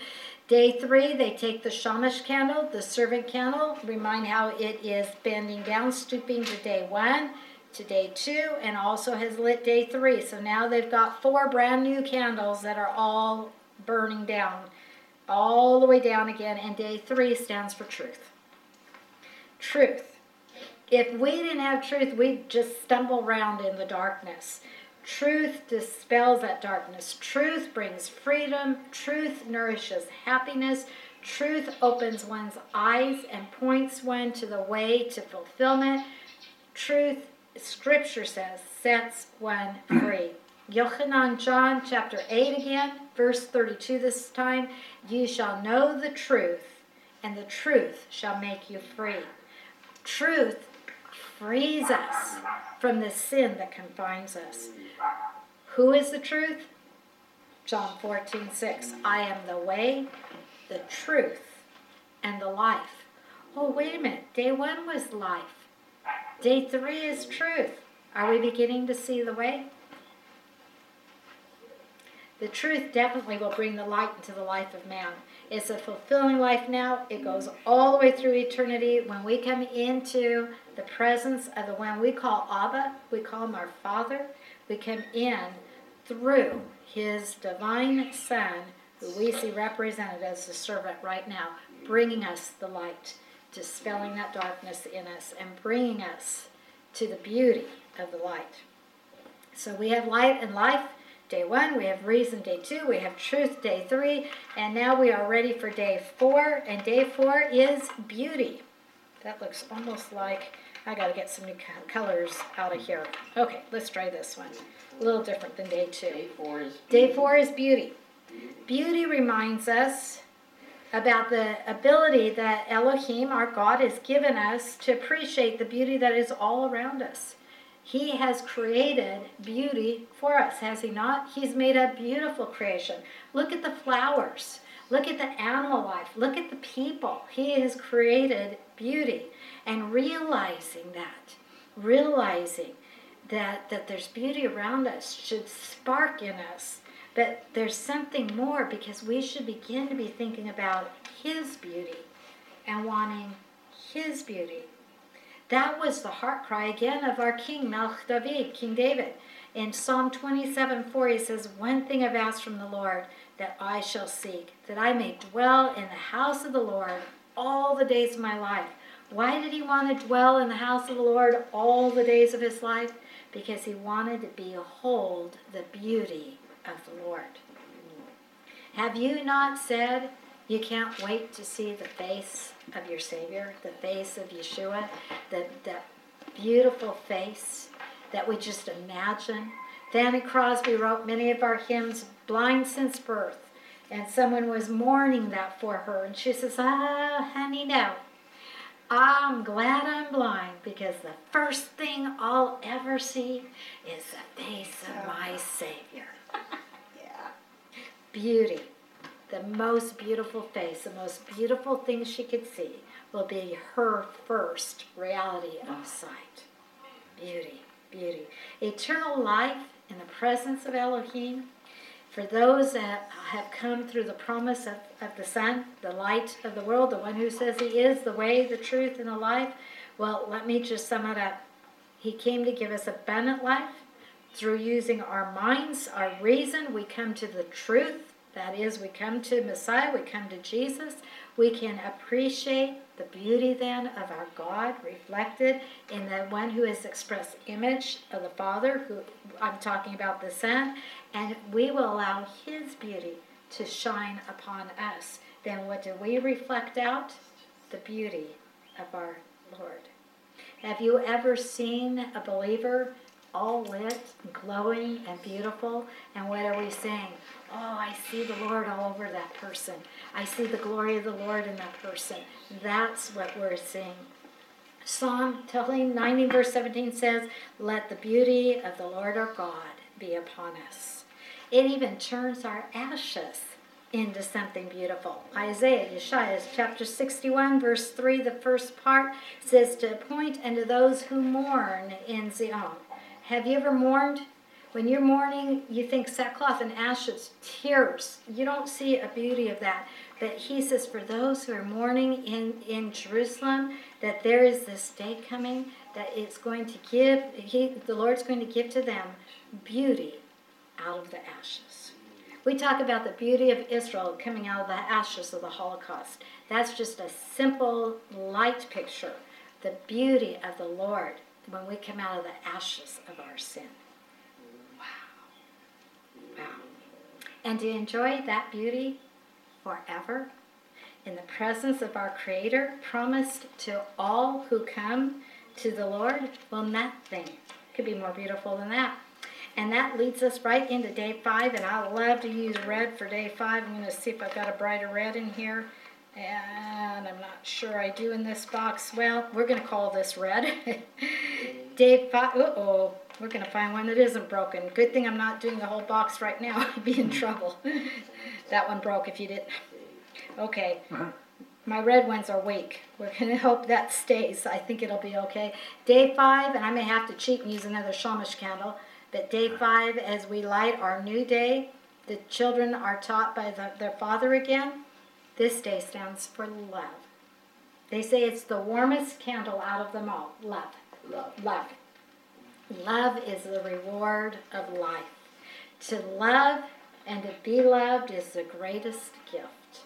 And we see it perfectly exemplified in the life giving, atoning work of our God. When we see that, I'm talking about the Son. I'm talking about Mashiach, Messiah, our Savior. I'm talking about Leviticus, Vayikra 17, 11, where we're told, For the life of the flesh is in the blood. And I have given it to you on the altar to make an atonement for your souls, for it is the blood that makes an atonement for the soul. The life is in the blood. The blood that was shed, Messiah shed his blood on that cross. He came to give us life. That's why I said he came to die. That was the reason why he came, that he might resurrect and give us that abundant, resurrected, powerful life in the light of his love. Greater love has no man than this, that he lay down his life for his friends. Yochanan, John 15, 13. And later, Yochanan, same author, but in the little books in the back of your Bible called First John, he, he's the, apostle of love. He writes love, love, love, love, love all the way through. Chapter 4, verses 9 and 10 says, By this the love of God was manifested in us, that God has sent his only begotten Son into the world so that we might live through him. Is this in this is love. Not that we loved God, but that he loved us and sent his son to be the propitiation, to be the atonement that Leviticus talked about for our sins. Love is the warmest candle. It glows the brightest, and love warms our heart when we let the sun shine in. And I mean the S O N, sun mm-hmm. shine in. No greater gift and no greater love. But can we bask in the warmth of the love of our God through accepting the atoning work of His Son? Oh, yes, we can. I love day five of all. Okay, day six. We might make it to the end before our Shamash candle is gone. we'll see. Day six stands for justice. Now, if you know the Jewish mind, justice is huge for the Jewish people because so much injustice has happened to our Jewish people throughout their whole history. That they have an expression well known in our secular Jewish world, not just by the religious, but in our secular, and that is justice, justice shalt thou pursue. Where do they get that? We're supposed to go after justice. Well, I think they get it from Psalm, from Tehillim, chapter 82 and verse 3. we are told there, what are we to do? We are to do justice to the afflicted and to the needy. That means that we mete out justice to those who are suffering injustices. We are to be bringing justice to the world. Micah, Micah chapter 6 and verse 8 says, He has told you, O man, what is good. What does the Lord require of you? But to do justice, to love kindness, to walk humbly with your God. If you're doing that, you're going to be like a servant. You're going to be acting humbly and you're going to deal justly with everyone.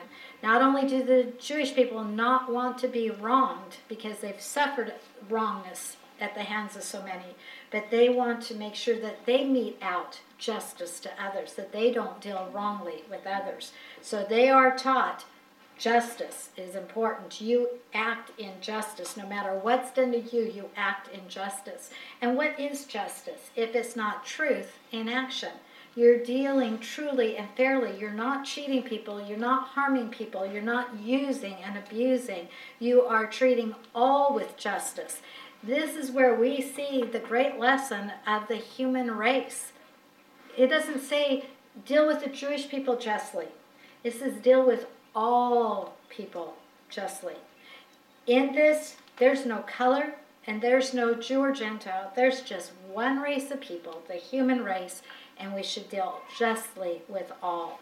We see that the one who came, who was the truth, brought justice to all. We don't see the Lord deal unfairly with anyone. And when we see all the way through the judgments in Scripture, through at the end of time, you will always see he deals justly, he deals fairly, he deals right, and he deals in truth. The, the ones who've done wrong are not going to get, oh, it's okay. And the ones who do right suffer the consequences. That will be gone. What will be meted out will be justice for those of us who have come into the light, who have those sins forgiven. Our judgment went with it. We only receive judgment to be blessed with reward, not to get what. If we get His mercy, we don't get what we deserve and we do get what we don't deserve mercy and grace. Ultimately, the gift of justice in replacing our sins is when we come through that atoning blood.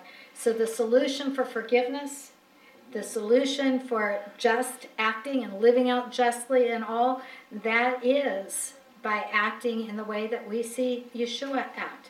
Isaiah 53 and verse 6 says, All his sheep have gone astray. We've all done things wrong. Each of us has turned to our own way, but the Lord has laid on him the iniquity of us all. That's where he has taken the wages of our sin that is death. But the gift that he's given, the gift of God, is eternal life through Yeshua Jesus. Remember day one? Life. This is how we get life, is through that atoning forgiveness, that shedding of that blood. We come to Elohim, we come to our God through Yeshua, through Jesus, to be given justice through his blood. That means we're given eternal life. So justice Hallelujah. means fairness? Because Just I always right. battled, I always thought God wasn't very fair, but I knew he was just. Because I see children starving over here, and I see children over here that's obese, you know? and you often wonder if there's a fairness in the world. There is not a fairness in this world. God did not do that. God did not say, I'm going to make this one starve and I'm going to make this one mm-hmm. fat. That's not God's mm-hmm. work. That's man's That's doing, man, and yes. that's the effects of sin in this world that have caused these injustices. When God made the world for humankind, He made the Garden of Eden. There would have been no famine, there would have been no suffering, there would have been no pain. So, so this world is not fair and just, and don't look for your fairness and your justice in this world. You will not find it. You've got a Hitler that, that kills for for no other reason than being Jewish, and it looks like he got away with it. But no, he will stand before his. God, and he will pay for the six million Jews. He will pay for the what 50, 50 I don't remember how many million others, you know, that were that lost their lives in that war also. He will stand trial for that and he will be meted out a punishment that is worthy of that. Where someone who has not lived a life of harm to others but never accepted their God will still have to suffer the consequences of rejection of the God that they should have embraced. but they won't suffer in the same way that Hitler will suffer. How God determines that, we talk about it being different degrees of hell. I don't know any other way to put it, but we see different degrees of suffering today. You'll see different degrees of punishment in hell. That's where the justice comes. But we are to act out justly as much as we can. That's right judging. That's um, fair, being fair, being right, being true. That's not letting evil get away with evil, but it's not inflicting evil when we should inflict good also. And we should all strive for that. That's what it's telling us. We should try to live justly toward all people. Do you think if the Jews had accepted Jesus, maybe so many of them wouldn't have had to gone through the Holocaust? Well, the Holocaust awakened the Jewish nation to be reborn in a day in the land. That's what God brought out of the Holocaust. If they had not gone through the suffering, they had nowhere on the face of this earth that they could call home and supposedly live safe. I have to say that supposedly because Israel today still fights for her survival in her own land. But that's why the, the homeland was made for her again, was so that the Jews had a place to call home that would be their home, that would be uh, the place for them to live as Jews. It's, it's a good start, but it won't be true until Messiah is sitting on the throne on earth and the will of heaven being done on earth, which is promised to Israel and will come. But anytime you see Israel as a nation suffering the consequences, what they're suffering the consequences of is that they're not following their God. They're not in obedience to their God. So his hand of protection and safety is not over them. They're suffering the consequences when they went into Babylonian captivity. It was because they had fallen into idolatry. They were worshiping other gods. There you go. They were not taking care of the poor and the needy in the land. They were being selfish and living into them themselves. They suffered consequences of that, yes. Um, It's like Meshach, Shadrach, and Abednego. God was right there to protect them. yes, and that's a good example. righteously before Him. Right, that's a good example of how it will be in totality. But let me caution you there are people living right and just and good and fair lives today Mhm. who suffer because of this world, just- who lose their lives from a murder, who are run over by a car, who are hit and killed in a car accident. We cannot say, oh, they weren't right and they're being judged. This world doesn't see that fairness and that justice now. That's what will be seen in the eternal judgment before our God. That that's happening now when good happens to bad people and bad happens to good people, what we are seeing is the effects of sin in this world. Where God has said, okay, you didn't want me as your God, you didn't choose to be, you know, right before me. The whole earth is going to suffer the consequences of it. When Adam and Eve failed and they were judged, death entered into their physical bodies, mm-hmm. Aging, all of that process, the earth also was cursed. The earth is under a curse. It didn't produce thorns and thistles. It didn't have drought time. It didn't have these consequences in the Garden of Eden. But sin brought that all into the world. And again, we can, even living right, we can suffer the consequences of sin now, but I guarantee you, in the eternal time, God will more than make the balance of that. More than make up for that. How? Just watch my God. I can't begin to tell you how, but I guarantee you, those who have suffered persecution are given a crown of life. Yeah. That may sound little right now, but when we see that in the way that God produces it and shows it, and they feel it and they receive it, they're going to say, "That was worth it all. That that was nothing compared to what we have now." So I don't want anybody to go out from this and say everybody who suffers is because they they're not right before their God. No, Daniel was right before his God and went into captivity.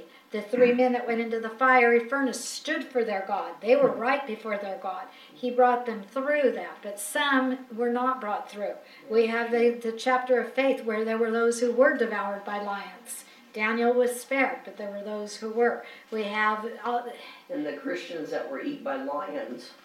yes. If you can read Fox's Book of Martyrs, my hat's off to you. I can't even read it. It grieves me so. And, and also when uh, Israel declined to let the ground fallow for seven years. They, too. they were disobedient to God, yes, they were, the, the land was to have its Shabbat, its time of rest, they didn't. So God said, okay, you skipped it forty-nine times, I'm gonna give it to you all at once. I said that wrong. It's four hundred and ninety years that they didn't do it, it was seventy times that it was skipped. So God gave the land seventy years of Shabbat, of, um, of peace, of rest, before he let them go back into the land. But, uh, yeah, so God's justice will be seen, but not eh, always in the immediate now. But it will be seen. Okay?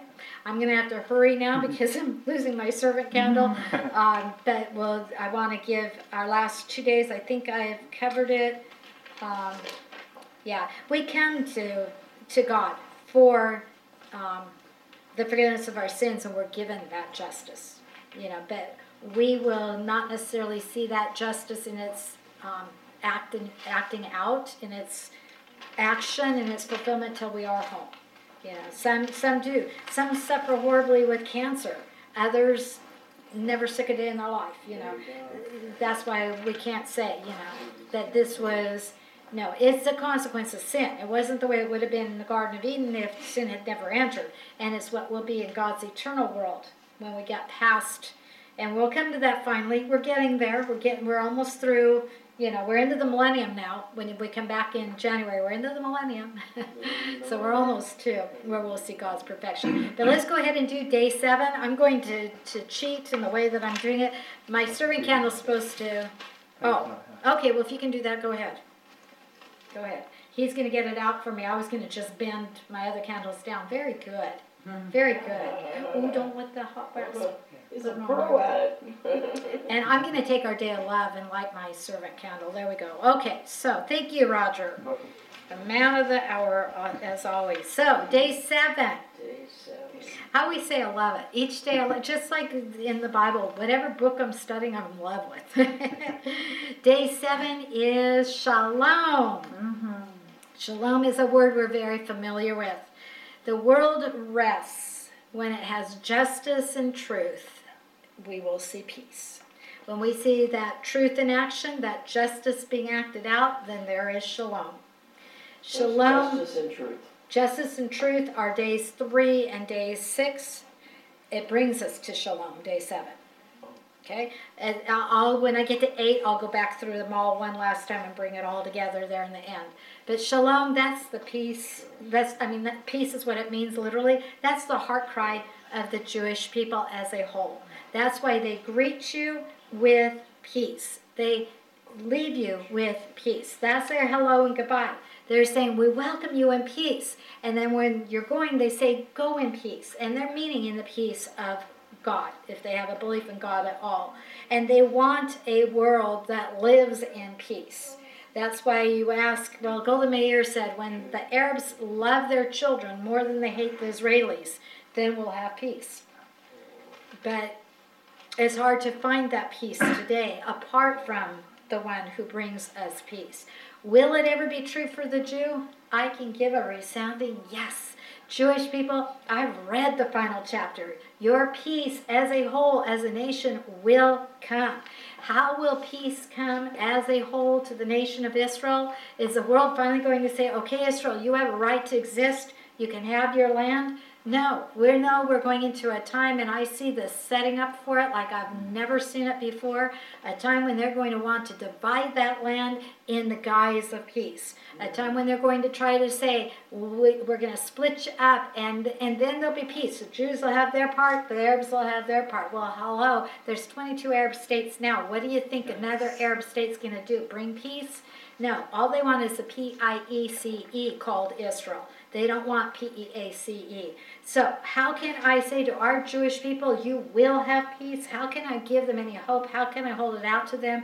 Because we know the day is coming when the Prince of Peace will come from heaven, will come down to this earth, will come into Jerusalem. We just studied that last class. He will stop the battle on the Mountain of Olives and, and well, almost the entire um, north south a geographic location of Israel. He will stop the battle called the Battle of Armageddon. He will set up his kingdom sitting on an earthly throne, the throne of David, in Jerusalem, in Jerusalem, comma, Israel. Not not Jerusalem, comma, Palestine, not Jerusalem, comma, West Bank, or any other names that they try to put on any of these areas. It will be Israel. It will be what God has promised. So the nation of Israel will see that peace in the day to come. But to every Jewish person now. Do you have to wait for that day and hope that you're alive in that day to see it, to gain that peace? No. The same is for every dear Gentile person also. Each individual can find peace today, can find shalom, and they find it by coming to the one who says, I give peace. When we read, recorded by Yochanan, John chapter 14 and verse 27, Yeshua Jesus says, Peace I leave with you. My peace I give to you, not as the world gives, do I give to you. Let not your heart be troubled, nor let it be fearful. Yeshua gives shalom. Yeshua gives peace. Accepting his work, accepting his shed blood in your place, accepting his atonement for your sins, taking this to, we call, my poor candle, we call it the foot of the cross. Stand straight and true and pure and tall because that's who you're representing, Shamash Candle.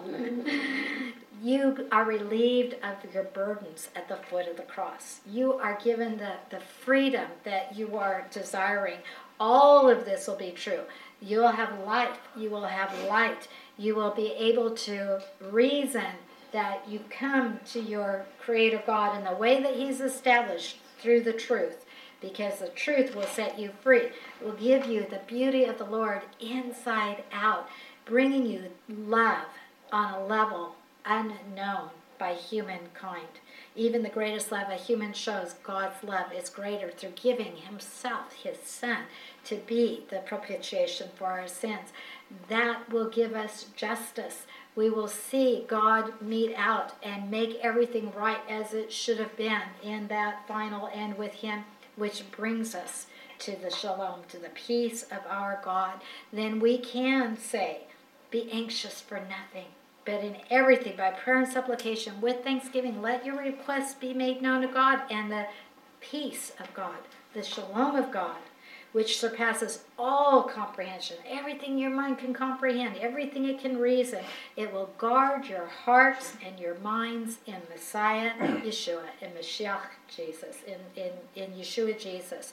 That's Philippians 4, 6, and 7.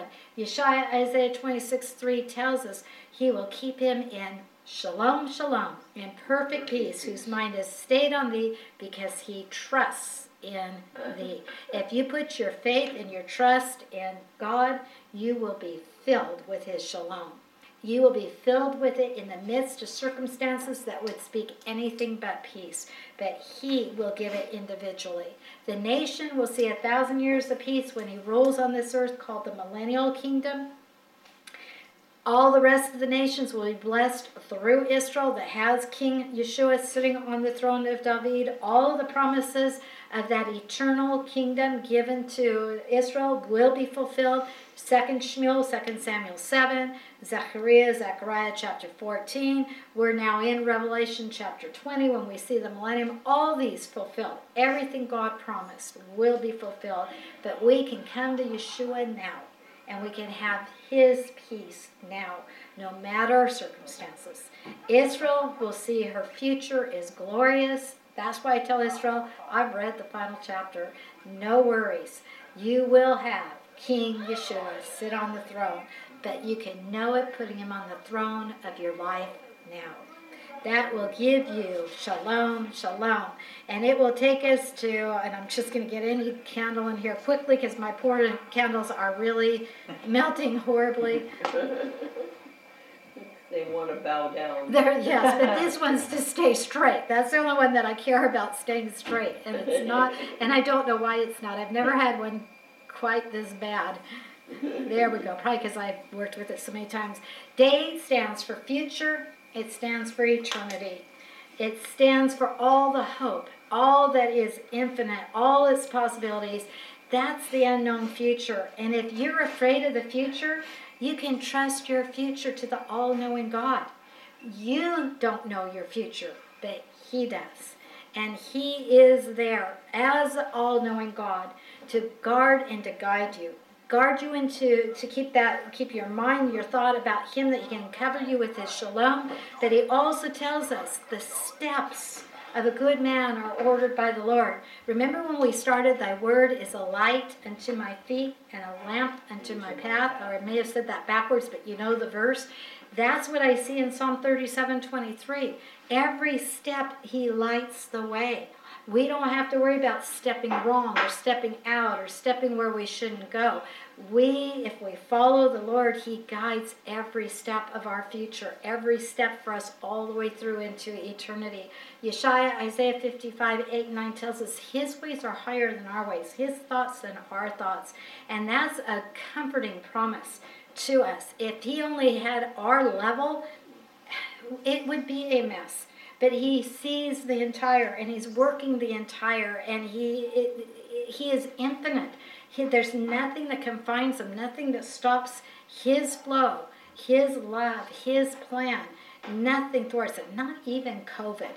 That's not an accident. He doesn't know what to do with and he is bringing people to him through that his promises for all times for all those who believe are recorded in the new covenant. We read it in Ephesians 3 20 and 21 that he's able to give us abundantly above all that we think or ask, even, even what we think. Philippians 4:19 tells us that according to his riches, he supplies our needs.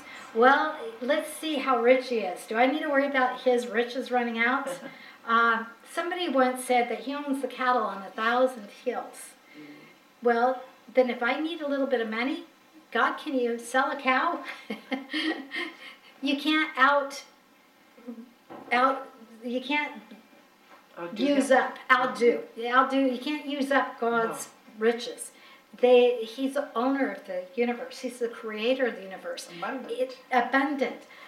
It doesn't end. If he needed to, he create it out of nothing. He did create out of nothing, and he did provide out of nothing. We see that in our miracles that took place. And the future for us in him is is a future and a hope. It's bright. Jeremiah, Jeremiah 29 11. They were going to go into captivity when Jeremiah said to his people, I know the future that God has for you. I know the plans He mm. has for you to give you a future, to give you a hope. Yes, you're going to go into captivity. You're going to learn your lesson. You're going to cry out to your God, and He's going to rescue you. That's our God. And so, for all who put their faith in Messiah and Yeshua, all who come to the light and, and have the life, reason it, and that reasoning brings them to truth, that truth brings them to the, the beauty uh, of the Lord and following Him that gives us His love in our lives, that warms us, and that guides us to deal justly with others and to know that justness will come in the future, that gives us shalom in the midst of our storm, that gives us an affinity, infinity like my car. It forever, infinity. It goes on. I tell the Lord that car's got to go to the rapture because of its name. that's what we have, and that's what we see reflected in the lights. Now, these lights, they're going to flicker. We see that. They're going to die out in time. But we renew ourselves each night. We refresh ourselves. We rededicate ourselves. Remember, this is the Feast of Dedication. And in that, when we come into that renewing and that refreshing in our God, then we can face that future and see hope in it and come into the glories of the riches that He has for us that we don't wait for till then. They start, I stepped on a kitty, they start now and they fill us now. The light will be in us. The light will be reflected. That's what we're to do is to shine this light out for others to see.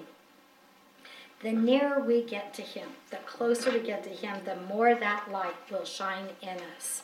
The more intense it is because that it just it, it takes over us. It, it transforms us into something glorious because we're moving from glory to glory in His glory, being conformed to His image.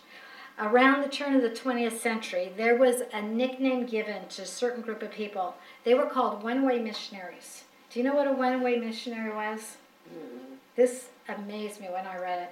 A one way missionary made a plan to go to a foreign land to share the truth of what I've been sharing, the gospel of Yeshua Jesus, with that people group. They went with intent that they will go and serve the Lord there until they die. They're not coming back. Oh, That's why they were called one way. That makes sense. Do you know what they did though? They took the belongings they needed to go with them. They packed the belongings, get this, in a coffin. And that coffin was to be used to bury them in that foreign land. That was a one way missionary at the turn of the 20th century. They knew they weren't returning home, and mm. that's how dedicated they were to going. One of those one way missionaries, his name was Peter Milne, M I L N E. He went to a tribe of headhunters in the area called New Hebrides, H E B R I D E S. All the other missionaries that gone before him had been martyred. They none of them had lived a full life. They had all been killed by these headhunters. That he felt God call him to go to share the love of Yeshua with these headhunters. The tribe that had martyred all the others before finally came to believe in the Lord that Peter Milne represented. And someone who came along after him, years later after he had died, there was a picture in a, a building honoring Peter Milne. And underneath it said, When he came, there was no light. When he left, there was no darkness. Mm. Wow. He shined the light of the Lord. Wow. He was a one way missionary. I can't wait to meet him one day because he's alive. He's in that glorious future that the Lord has promised Took to all us all. steps to get the right one. Well, it's it's the building. It's the building. The the story of a missionary that was going door to door, and it was a female missionary, and it was a female that answered the door, and the one in the house knew what her intent was. She she um, t- told her, "I don't want to hear it," and she closed her door. The next day, the missionary went back, knocked on the door again. The woman opened the door, and she says, "I told you, I don't want to hear it. Just go away." And this time, she slammed the door in her, in her face. The next day, the missionary went back and knocked on that door again, and this time the lady spit on her and slammed the door shut. Oh The next God. day, the missionary went back and knocked on the door again.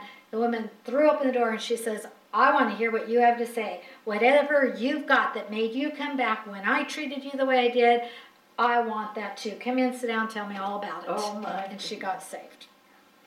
So Wow. those who mar- were martyred before Peter, they were the stepping stones to this tribe Wow. finally accepting. Don't give up, people. If you've got those you've been sharing with for years, don't give up. Where there's life, there's hope. You never mm. know when it's going to just all come together and, and they're going to catch sight of the love and invite it into their lives. So, There's um, one more too. You wanna do the one about the nail? Oh, I, I could. Let me end on the, because I'm really out of time. Let me end on um, the, the story I told you I was going to tell real fast about the Hanukkah lights, and then I'll go to that one if so. There's also, if I can find it, and I maybe I just won't worry about it. There was something else that one of our people said. Um, they basically what they said it was a rabbi that said that that he believed one day there was going to come a light. Well, that's what Isaiah said, and we know the light did come, and we're here to reflect that light to others. The story, the the family that was um, running for their lives, they had gotten onto the train. It was Hanukkah time. They were on the train undercover. Their papers did not say they were Jewish, and they were hoping they were right under the, the nose of the Nazis. Nazis were all over. The train even pulled into this station in particular, and more Nazi soldiers uh, of authority got onto that train. Families just holding their breath, you know, hoping, praying to God that they're going to get out safely. If they're caught, it's, it's all over. Well, when the, the train was still in the station, there was a power failure. Um, what I failed to tell you before is because the the father of this family was Orthodox, very concerned that he follow the the um, the holy days. I, I've got to say the holidays because Hanukkah is not one of the holy days listed. But feeling compelled that they had to celebrate Hanukkah wherever they were, they had what we called traveling candles because this is you know before our lights like we have, and they were using those candles as a menorah. The father set him up in the window of the train like a little menorah and used the one to light the others and was quietly teaching the children. The mother was horrified. She thought, we're mm-hmm. going to be caught for sure. They're going to see it's a menorah, you know, it's going to be our death. And the father said, then if we die, that was God's choice for us to die. I have to honor my God. I have to light the lights. So they did it. And sure enough, in no time, here's a knock on their door because now there's this power failure and their light is brightly shining in this power failure. And the mother and father both thought this is it. You know, this this is it, but you know, that we're honoring God to the last breath. And it was one of the head soldiers, um, I don't know what to call him, but you know, one of the authorities, and he said, We've seen your lights. We need to do our paperwork. Could we use your um, what do you call it on the train? Your, you know, your station, your little, you know, could we use your where you are and your your your lights to work by? Well, what are they going to say? No, you know, of course Oh, they said yeah. yeah. Of course they said yes, and they said in exchange we will see you all the way through to safety.